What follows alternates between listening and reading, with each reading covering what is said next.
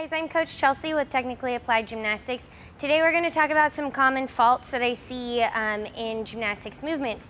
Um, the first one that I'd like to touch on is shoulder mobility. So um, whether it's in a handstand or in a pull-up, um, it's really important to get those shoulders as mobile as possible.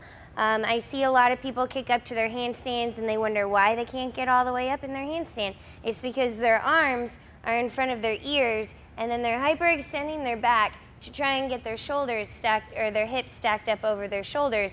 Whereas if they just bring their arms behind their ears, then their hips and shoulders will be stacked up. The way we want to think about doing our handstands is keeping everything in nice and tight. Our arms are glued to our ears, our um, shoulders are active, so we're not relaxed.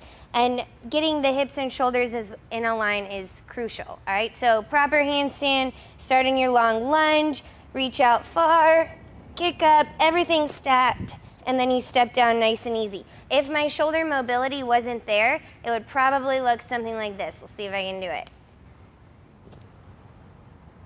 Right, there's no, the hips are over the shoulders, but you're broken through the core. So um, to fix this, you're gonna have to work on that shoulder mobility, maybe using a band on the pull-up bar, um, maybe doing some pass-throughs, just really making sure you get your shoulders nice and warm before you attempt your handstands or your pull-ups.